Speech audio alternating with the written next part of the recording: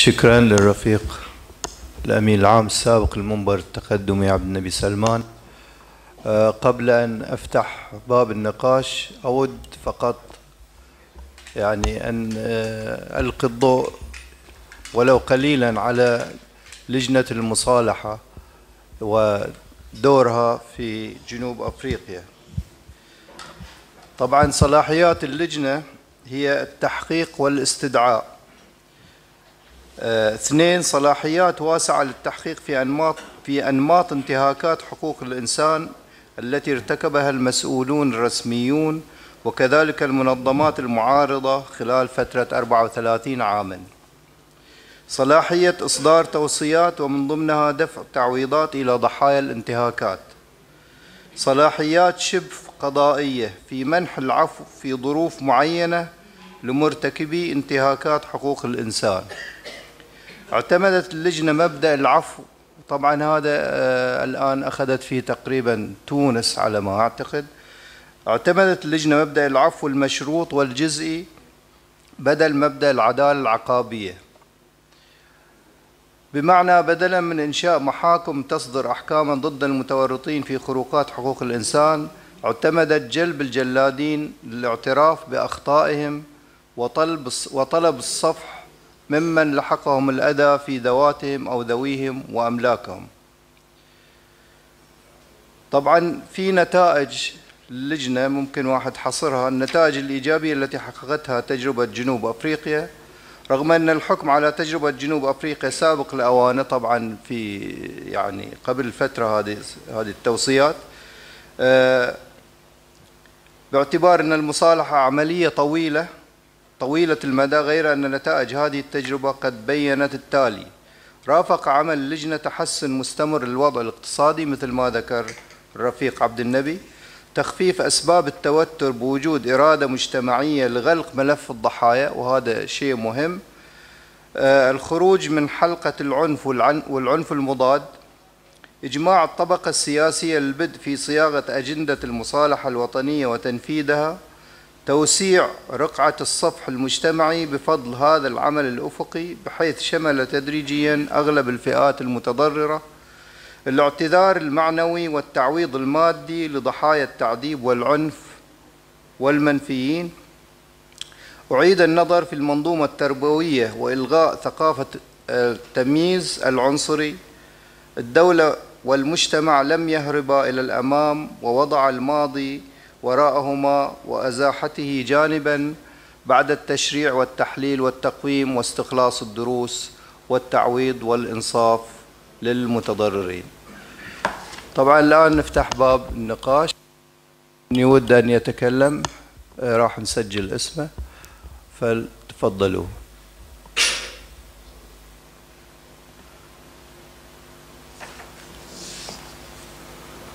تفضل. أحمد سعد تفضل. أه مشكور يا أخوي. أه الموضوع ينعرف من عنوانه. أه تعودنا إنه تحل الأمور بطريقه أو استخدام الأدوات الأمنية والعنف.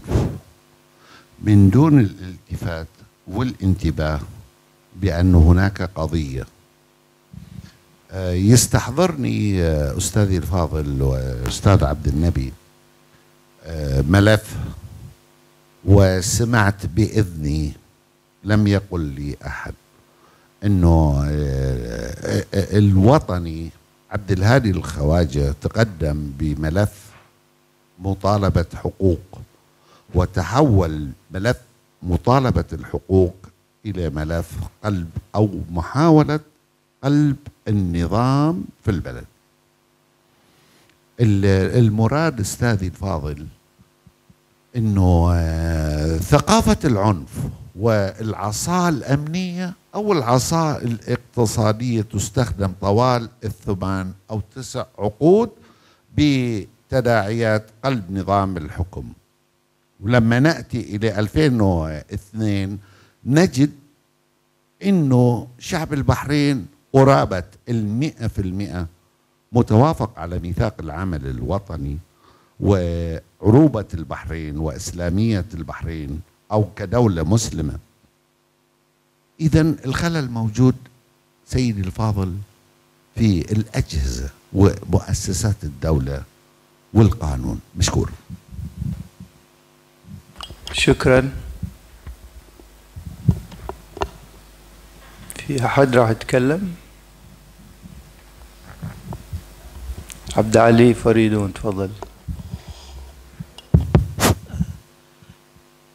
عندي بعض النقاط إذا ممكن لكن أفضل يعني من الأخ حميد والأخ عبد النبي يعني يذكرون دور الحزب الشيوعي في جنوب أفريقيا في قيادته يعني للتغييرات اللي صارت في جنوب أفريقيا.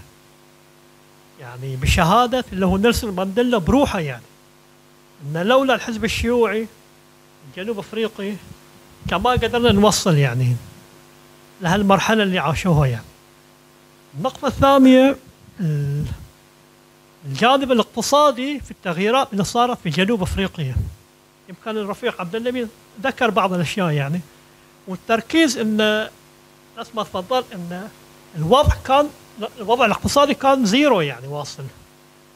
أتصور يعني هو هل هو من الذكاء اللي هو الرأسماليين أو الإمبرياليين إن لما يشوفون المسائل الاقتصادية توصل ل zero يسوون لهم حل. إن جابوا صار انه أطلقوا سراح نيلسون مانديلا على إنه هو يقود الحملة لكي ينتعشون مرة ثانية. يعني الانتعاش اللي صار بالارقام اللي ذكرتها يعني بالأساس الأساس منو اللي استفاد منها يعني؟ هل هم المواطنين؟ هل اللي هو المستثمرين؟ هم البرجوازيين سواء كانوا من السود أم من البيض؟ فهذه النقطة يجب أن نركز عليها. النقطة الثالثة هل القضية في جنوب أفريقيا أو في أي دولة أن مثلا السود لازم يحكمون مثلا أو إلغاء الفصل العنصري أم أن لا أن بناء دولة المؤسسات والقانون يعني هل في جنوب أفريقيا قدروا بعد ما جو المؤتمر حزب المؤتمر أن يقضون على الفساد وعلى و و و والبطالة وإلى آخره؟ بالعكس يعني حسب المتابعة لجنوب أفريقيا أن الحين أص... كثيرين من أعضاء المؤتمر هم متورطين في قضايا فساد نفس اللي كانوا يمارسونها البيض يعني. المشكلة مو مشكلة البيض أم سود. زين؟ هاي التصنيفات يعني. المشكلة في إن ما أعتقد قدروا يبنون الدولة القوية إن يقضون على هالقضايا. بالعكس يعني الوضع مثل ما هو. مجرد إن هذاك الأبيض كان يسرق الحين الأسود كان يسرق يسرق حاليا مثلا.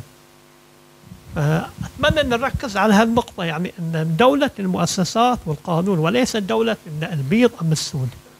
النقطة الأخيرة يعني إحنا نعرف شهر ستة يعني في يوم عالمي اللي هو للتضامن مع التضامن ومساندة ضحايا التعذيب يعني أتصور انه شيء متوافق يعني إن في جنوب أفريقيا صارت نوع الحلحلة لبعض القضايا هذه اللي ذكرها الأخ حميد يعني هو ضحايا التعذيب والمعتقلين و و فهل إن مثلا نقدر إحنا بعد نطرح وياما طرحت من بداية الميثاق لسنوات قريبة يعني كان يطرح هذا الشيء.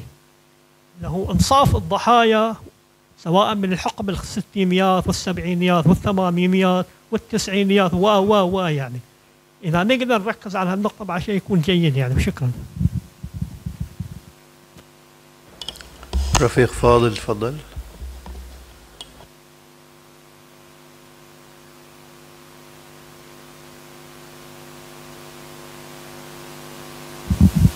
في البداية شكر إلى عريف الندوة الرفيق حميد والشكر موصول إلى المحاضر الرفيق عبد النبي سلمان.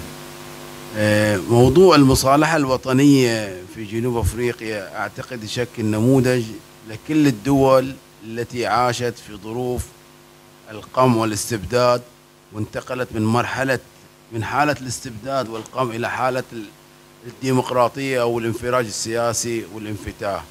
والفعل يعني شخصية نيلسون مانديلا شكلت شخصية جامعة لشعب جنوب أفريقيا وشكلت شخصية متسامحة بالرغم ما جرى من قتل وقمع وبالرغم من آه، مرارة السجن اللي قضاها نيلسون مانديلا إلا أنه كان متسامح له كلمة مشهورة ومقولة مشهورة عندما يقول يعني سوف ممكن أن نغفر ولكن لن ننسى. بما معناه يعني ممكن يغفر للجلادين ولكن ما ينسى التعذيب والقمع اللي مورس على أبناء شعبه وعليه شخصيا يعني في الزنزان العاشر ولكن في النهاية استطاع هذا الرجل أن يوحد شعب جنوب أفريقيا من أجل التحولات الديمقراطية ولا اليوم بالفعل قاعدة تمضي مثل ما ذكر الرفيق بشكل يعني حتى المؤشرات الاقتصادية جدا متطورة مقارنة مع العديد من الدول اللي سبقوها في المجالات الاقتصادية. أنا أعتقد إذا استطعنا إحنا الاستفادة من بعض ما جرى في مثل ما ذكر أحد الرفاق اللي هو عبد علي مسألة اللي هو الحقيقة والإنصاف. بالنسبة إلى ضحايا التعذيب. لأن هاي شكلت نموذج مثل ما بعض الدول آه، مثل المغرب وتشيلي. أعتقد إحنا في حاجة لهذا الموضوع ولا زال يعني منذ بداية الانفتاح أو الانفراج السياسي اللي بدأ في البحرين في 2001 جميع القوى السياسية وجميع الحقوقيين طالبوا مسألة الإنصاف. والآن أعتقد ملح هذا الموضوع رغم أن الظروف والأوضاع الآن متغيرة والأوضاع صعبة والظروف صعبة ولكن جبر خواطر ضحايا التعذيب والانص... يعني هذه جدا مهمة من أجل على الأقل مزيد من المصالحة الوطنية ومزيد من التسامح ومزيد من الانفتاح حتى على الأقل الناس تخطو خطوات إيجابية نحو المستقبل وشكرا. شكرا. في أحد؟ آه، رفيق أبو أبو فهد. بعدين بنترك التعليق لأبو سلمان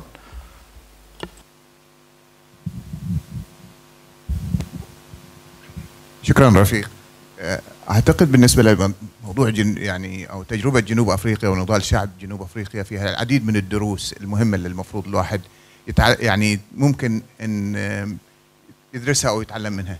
اولا بالنسبة إلى موضوع الصراع ما بين أو صراع التحرر الوطني اللي قاده مؤتمر اللي قاده حزب المؤتمر الوطني بقياده مندله وطبعا ضم مجموعة من القوى الوطنية والتقدمية في جنوب أفريقيا.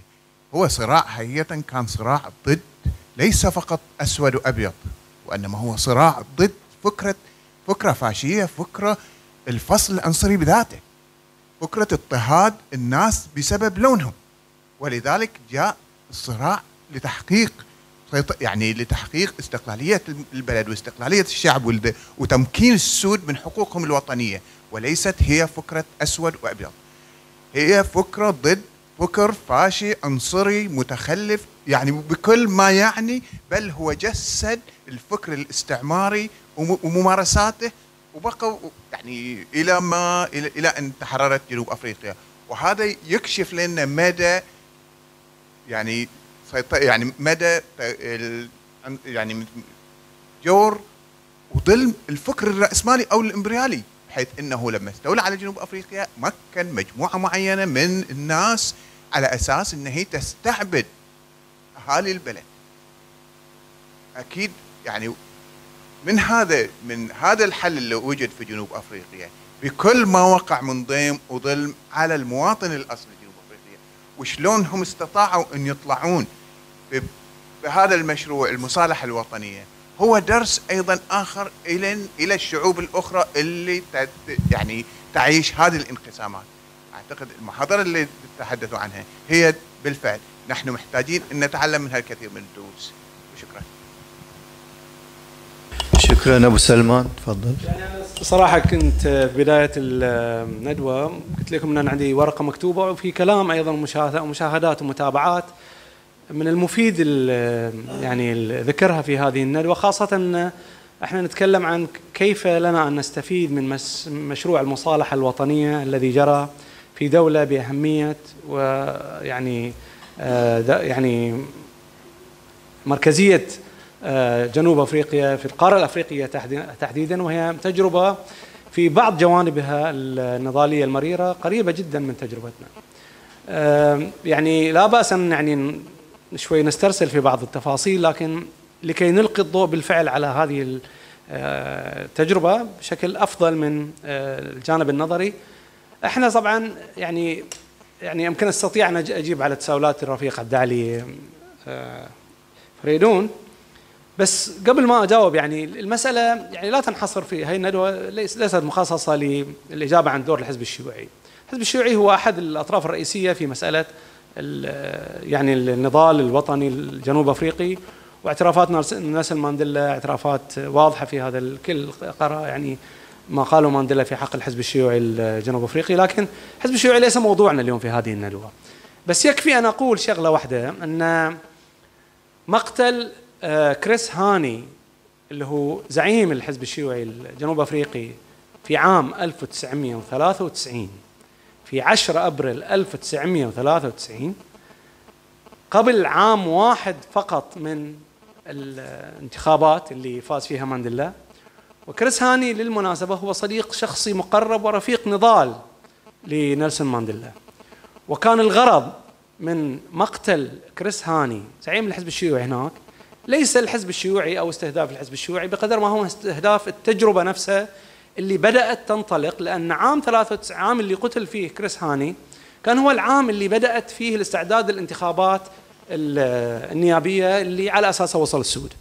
في 10 أبريل 1993 قتل كريس هاني وفي 27 أبريل آه، من العام اللي عقبه فاز نيلسون مانديلا بالانتخابات.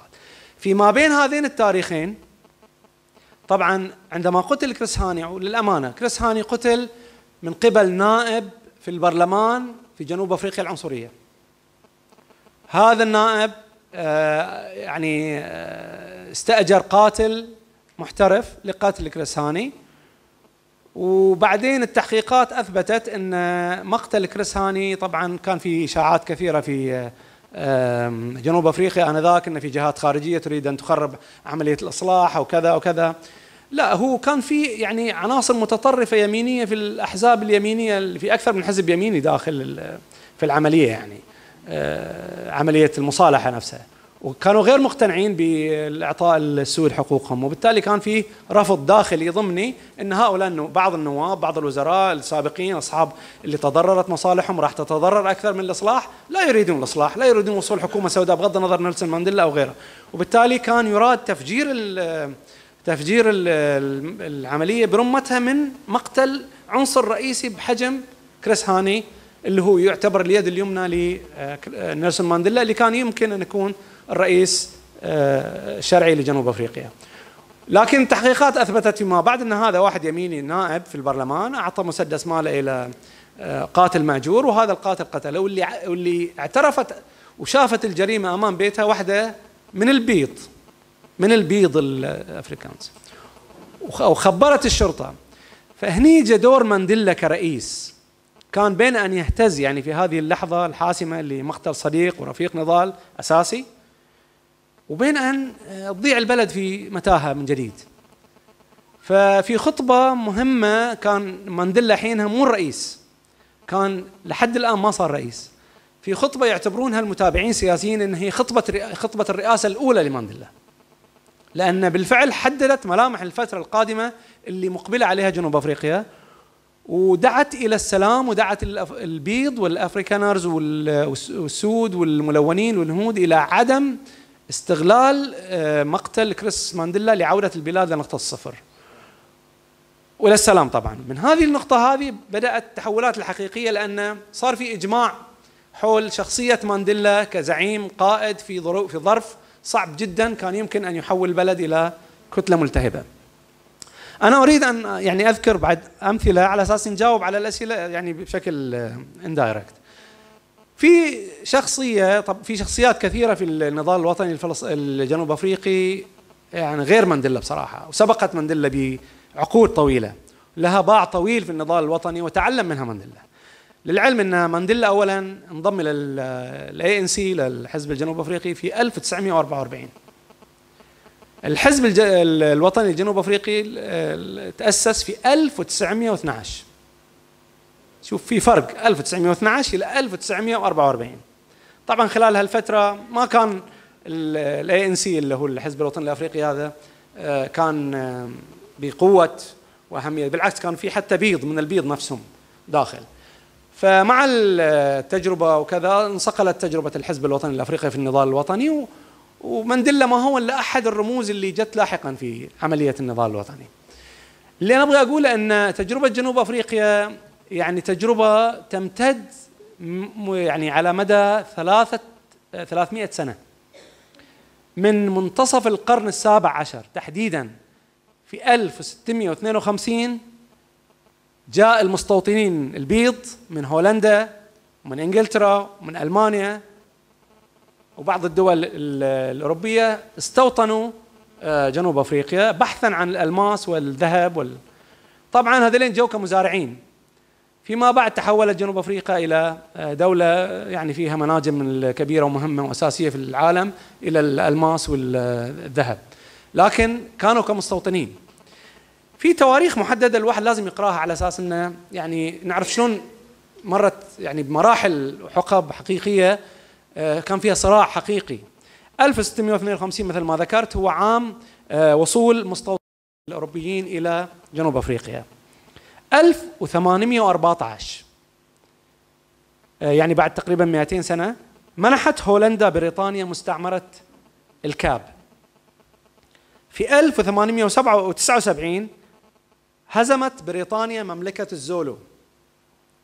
1910 1910 تأسست دولة اتحاد جنوب أفريقيا. هذا كان اسمها. دولة اتحاد جنوب أفريقيا اللي هي طبعا بعدين صارت جمهورية جنوب أفريقيا ال- بعد ال- شو اسمه. بس كان اسمها في الأساس في 1910 عندما تأسست اتحاد جنوب أفريقيا.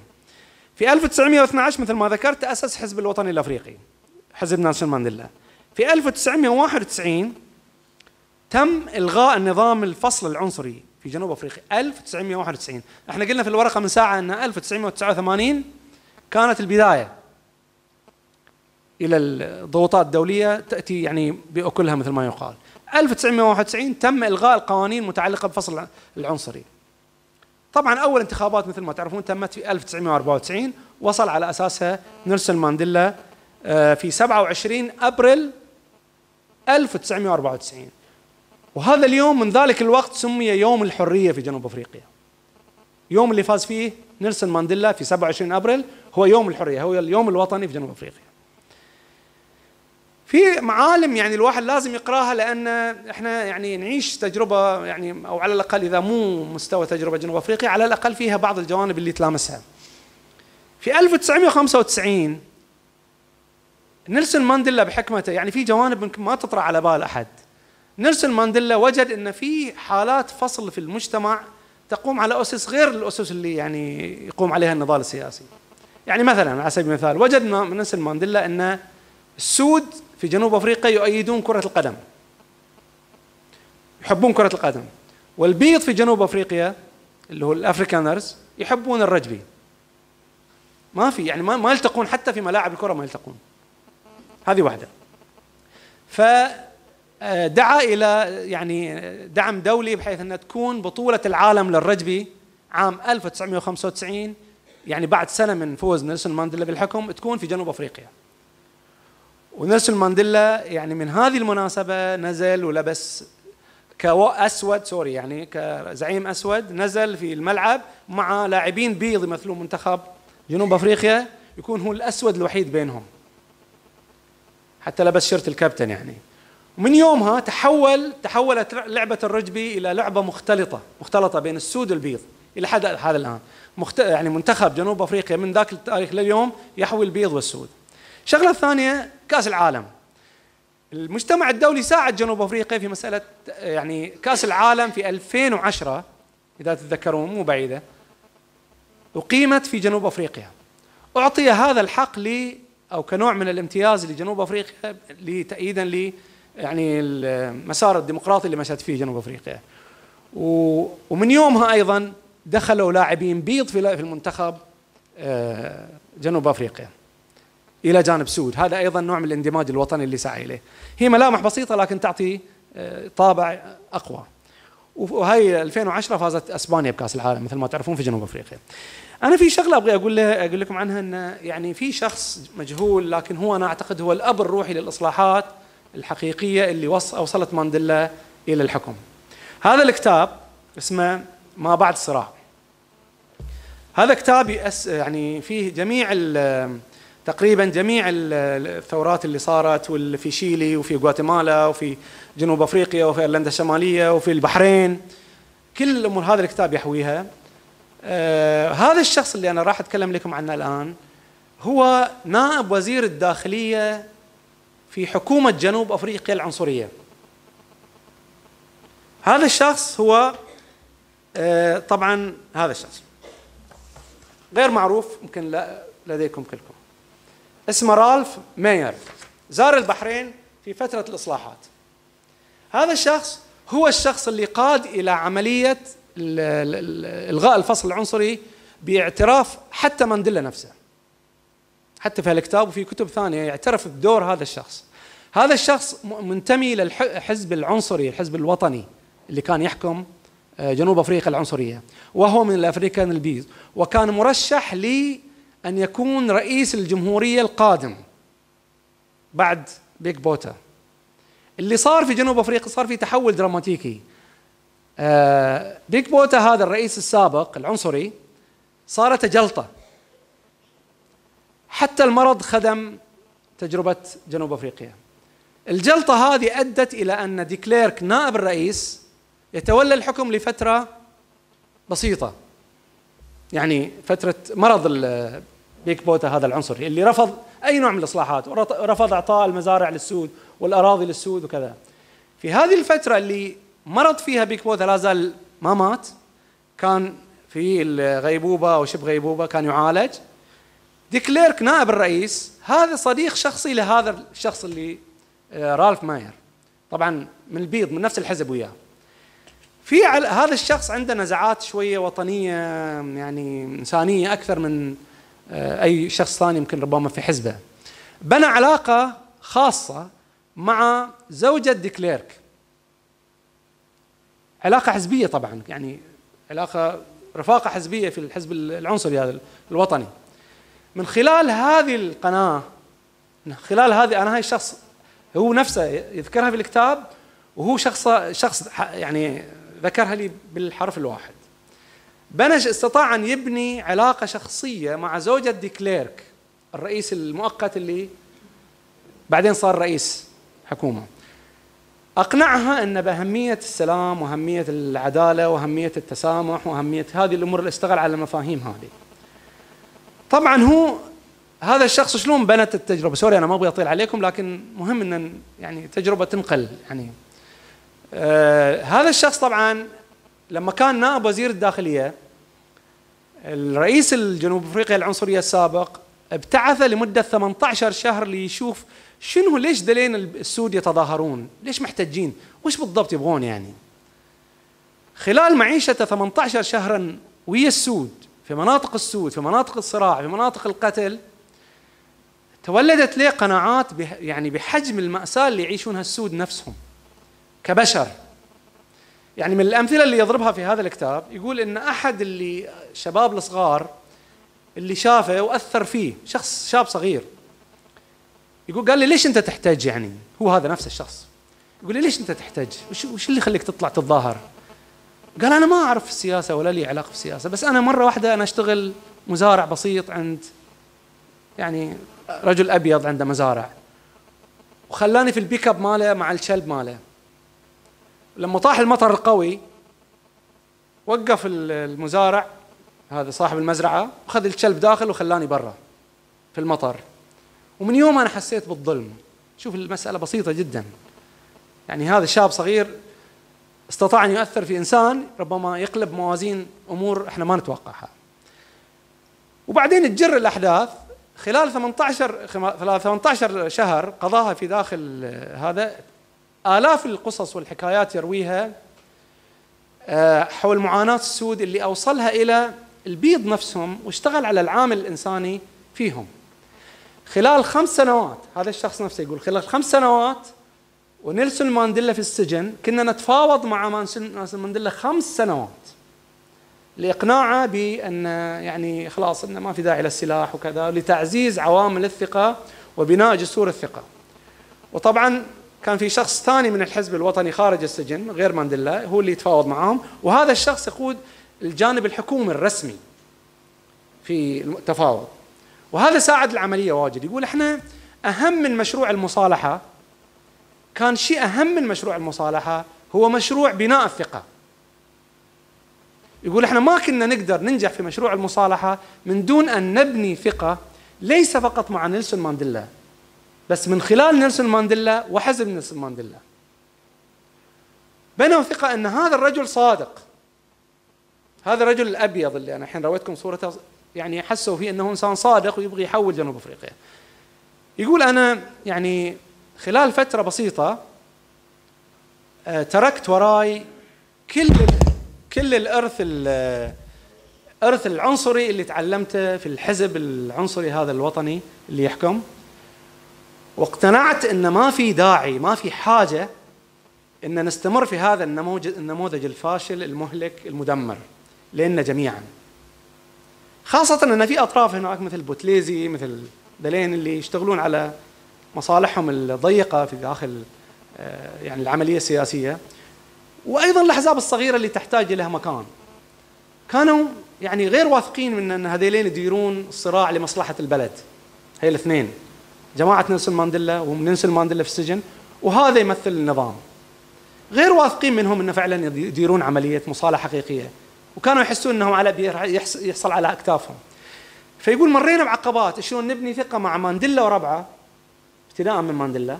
وشلون بعدين إحنا ومانديلا نبني ثقة مع دلين؟ اللي برا.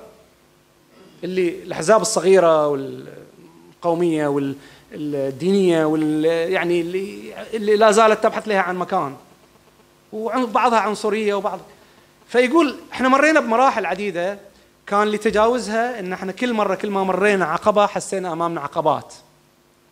خلال خلال هالمدة كان نحتاج إلى نفس طويل جدا لكي نبني خطوة خطوة. يقول ما كان مانديلا لوحده ولا كنا إحنا لوحدنا نستطيع أن نبني هذا من دون أن نبني ثقة اولا ومن ثم ننطلق. هذه تجربة أنا أعتقد يجب أن تدرس بالفعل لأن بعدين هذا الشخص استعين فيه في تجارب عديدة في جنو في أمريكا الجنوبية وفي أفريقيا وحتى في تجربة جنوب آه، أيرلندا الشمالية. هذا الشخص جاء البحرين جاء البحرين في بان فترة أنا التقيت فيه في البحرين هني والتقيت فيه في جنوب أفريقيا، جاء البحرين فترة الإصلاحات. الشخص كان يبغى يقدم تجربة جنوب أفريقيا لنظام البحرين ولحكومة البحرين ولمعارضة البحرين ولحتى لتجار البحرين. قعد حتى مع تجار البحرين. في هذا الكتاب في صور عنده مع أعضاء مجلس الشورى ونواب وتجار وحكوميين وكذا عشان يقنعهم بأهمية الإصلاح للبلد. هاي إجابة على التساؤل اللي طرحه الأخ فاضل من شوي أعتقد وعبد علي فهي حاول يستفيد حاول مثل ما افاد الإيرلنديين والجواتيماليين والتشيليين وغيرهم حاول يفيد البحرين. وللفعل هو عنده يعني للامانه عنده عنده يعني اهتمام كبير بتجربة البحرين. للأسف لما زرنا إحنا جنوب أفريقيا أيضا حاول يعني حاولنا إن يرجع البحرين مرة ثانية. منع من زيارة البحرين. فهذا يجاوب على أسئلة إن هذا الرجل وغير من يعني الناس اللي أمثاله. طبعا أنا ما ما أؤمن بالشخص إن هذا بس على الأقل في ناس تفرق. يعني وجودهم في مرحلة تاريخية معينة في مكان تاريخي معين يؤثر. بس في شعوب حاولت تساعدنا حاولت تساعدنا في البحرين. بالتالي إحنا نفتخر فيهم لأن بالفعل هم يؤدون دور إنساني اممي آه، يعني يساعد الآخرين. أنا أكتفي بهذا بس يعني إذا في أسئلة ثانية بعد تفضل. بن سيد جعفر.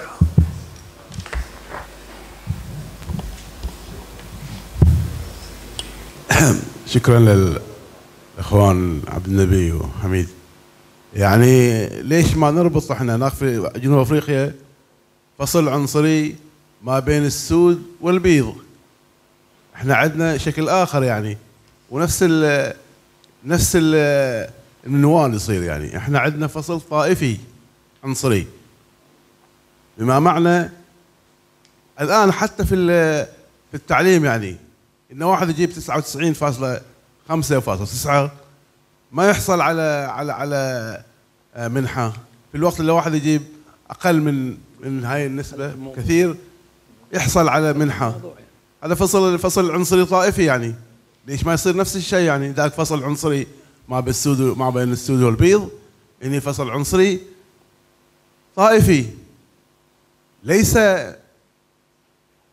يعني لشعب البحرين إنه متأصل في هذا إنما السلطة هي التي تقوم بالفصل العنصري ما بين طا- طائفة فصل طائفي يعني. هي إحنا نربط بعد في ربط يعني ما بين ذاك الفصل العنصري اللي ما بين السود والبيض وهني فصل طائفي عنصري. شكرا. شكرا. بس يعني ملاحظة يعني نريد نركز شوية على تجربة جنوب أفريقيا لأن موضوعنا هو هذا.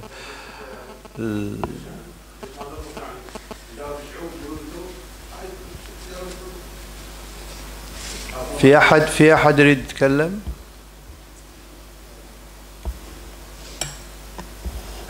خلاص نختم. عبد علي في okay okay. إن شاء الله. okay. أنا ذكرت رفيق عبد علي إذا لاحظت خلال الورقة إن جنوب أفريقيا يعني لم تستطع أن تق- تقضي على الفساد وذكرت حتى إن لا زال الفساد حتى اليوم يعني يرتبط برئيس الدولة نفسه. يعني زوما اليوم الرئيس اللي خلف مانديلا خلف آه، امبيكي آه، هو اليوم آه، على يعني رأس الحزب الحاكم اللي هو ال ANC نفسه. لكن هو توجه إليه اتهامات حتى في آه، أمور يعني مخلة يعني بدون رئاسة. زين وبالتالي الفساد من المستحيل يعني حسب حتى منظمة الشفافية العالمية أن يتم القضاء عليه.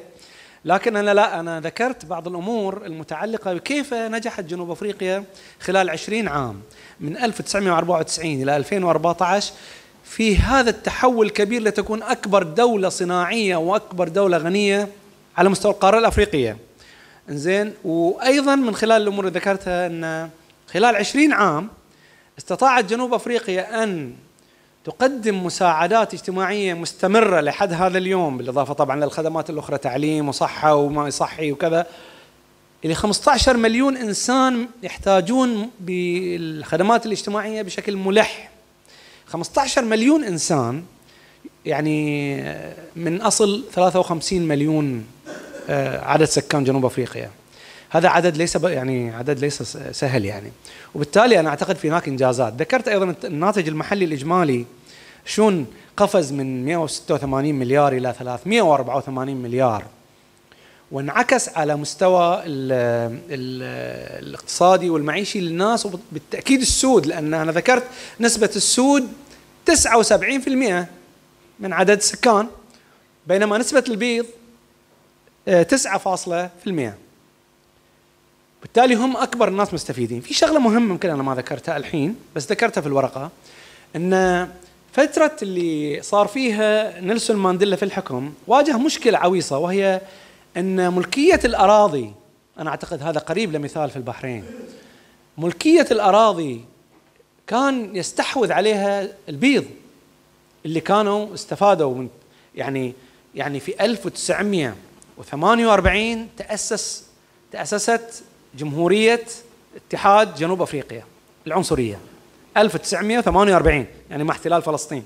1948 إلى 2000 إلى 1994 طول هالمدة هم يسرقون الأراضي ويعني كذا. وبالتالي عملية التخريب الديموغرافي في البلد وفي نفس ال- والجغرافي أيضا كانت هاي الأراضي ممتلكات يعني خاصة بالبيض. يتحكمون فيها عملية الإصلاح السياسي مرت بمراحل صعبة جدا مانديلا يذكرها في كتابه آه إن شلون استطاعوا أن يقنعوا البيض اللي هو يملكون الأراضي بوثائق رسمية بعدالة وحقوق السود في امتلاك الأراضي والإصلاح الزراعي. هذه أنا أعتقد هذا أكبر إنجاز استطاع أن استطاعت حكومة مانديلا وحكومات اللاحقه اللي وصلت أن تنجز لأن مسألة تحول الأراضي لو بيصير اليوم في البحرين لا يعني مو لا سمح الله سمح الله. يعني لو يصير عملية الإصلاح ال ال ال الأراضي وكذا يعني أنت تخيل حجم الأراضي اللي راح تعود للناس. يعني فما بالك في دولة مثل اتساع جنوب أفريقيا بصحاريها و- وغاباتها وكذا وأراضيها الشاسعة وزراعه ومزارع كانت آه، يعني في احتكار للثروة. بالإضافة طبعا المصانع والتجارة والوكالات هي كلها أصبحت اليوم جزء من عملية التحول الاقتصادي في جنوب أفريقيا. ويسجل التقرير اللي أنا ذكرته من شوي تقرير رئاسي وأيضا صندوق النقد الدولي حجم هذا التحول إنه حجم مهول أسس لنوع من العدالة الاجتماعية آه، على مستوى ال- القواعد. في شغلة أيضا الواحد يلمسها من خلال الزيارات اللي إحنا قمنا فيها إن في جنوب أفريقيا اليوم يعني ما عاد رئيس القضاة أو رئيس النيابة لازم يكون أبيض. إحنا جلسنا ويا ويا يعني رئيس ال- المحكمة الدستورية هندي من أصل هندي. وباكستانيين ومن أصل عرب تحسون عربي يعني. آه، يعني ماسكين مفاصل مهمة في الدولة اليوم ما كان هذا ممكن لو ما كان في عملية اصلاح سياسي حقيقية. إحنا على أساس إن ما حكي التجربة ونحاكم التجربة أيضا علينا نقيس إن حجم التحول مو بسيط في جنوب أفريقيا. طبعا الفساد راح يتم ويستمر أنا أعتقد لأن ما في دولة خالية من الفساد وبالذات جنوب أفريقيا لأن يعني أنت تعرف ال- الحجم المهول من التخ- التخلف الاقتصادي اللي بناه اللي بناه النظام العنصري السابق لمصلحة آه، الحفنة القليلة اللي هي تمثل البيض. بس في اندماج في عملية اندماج اجتماعي يعني إحنا رحنا سجون في آه، جنوب أفريقيا لا زالت اليوم يعني مقفلة ولم يمسها الإصلاح. ليش؟ ولا زال على بابها الكلاب والسود. الكلاب والسود. يعني الممر اللي يدشون منه كلاب والسود والممر اللي يدشون منه البيض. هذا لليوم موجود بس طبعا كسجون أقفلت. آه، طبعا ال- السجن نيلسون مانديلا في روبن آيلاند في حد ذاته فتحه للناس للسواح. أي سائح اليوم يروح جنوب أفريقيا يقدر يدخل الحجرة اللي آه، يعني عذب فيها وسجن فيها مانديلا 27 سنة. ويشوف بعينه قسوة النظام يعني والجدران والدم والقصص اللي تحكى على ال... صار متحف. دخول المتحف هذا يعني في حد ذاته يحكي لك حجم التنوع الإيجابي اللي حدث الآن. يعني واحد صعب يدخل يدخل التفاصيل. بس أنا أعتقد في تحول كبير ونوعي جدا حدث على مستوى جنوب أفريقيا. لا لا يجب أن ينتقص. حتى لو استمرت يعني آه، الفساد وراح يستمر الفساد لكن عملية التحول الديمقراطي وأنا أعتقد حتى مانديلا قا- قالها في إحدى خطبه لما قتل كريس هاني ان بما معناه أن عندما تترسخ التجربة الديمقراطية سوف أعتزل السياسة 1995 1994 مسك ال- ال- الرئاسة وعندما اعتزل ذكر هذا الكلام بالحرف الواحد أن عندما تترسخ التجربة الديمقراطية ها أنا أعتزل الرئاسة. وبالتالي هذا رجل قائد يعني يع- يعي أهمية وجوده على رأس الهرم ليس كفرد وإنما كرمزية لأهمية استمرار نظام. يعني ال- بالإضافة لقوانين إلغاء قوانين ال- الفصل العنصري. مو سهل يعني.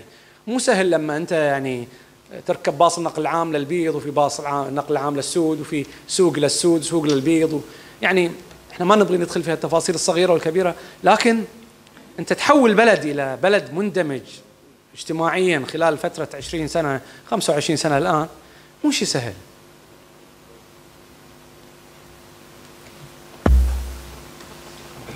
أوشكنا على الانتهاء بس أحمد منصور تفضل.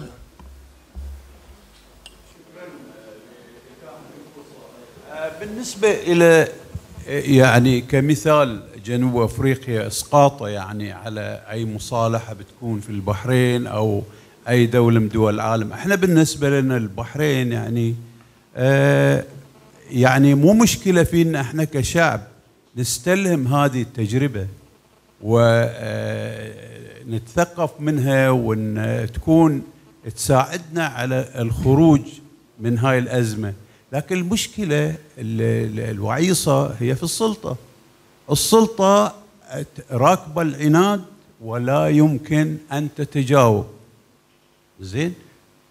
بضغوطات عاد أو بعناد منها هي من دول الإقليم أو دول ثانية اللي واقفة معه. هل إحنا كمعارضة نقدر نوصل القضية إلى الأمم المتحدة ويصدر قرار إلى الأمم المتحدة بموجبة أن تصير مصالحة؟ ما في هذا لا يلوح في الأفق أي شيء. شكرا. شكرا. شكرا لكم آه، وشكرا للأخ رفيق عبد النبي سلمان. ونتمنى أن نلتقي في ندوة أخرى. طبعا تجربة مهمة. آه، نتمنى أن تكون يعني تدرس هذه التجربة للمستقبل. ونتمنى من المسؤولين أن يأخذون بعين الاعتبار مثل هذه التجارب. لوصول مجتمعاتنا إلى بر الأمان. شكرا لكم جميعا.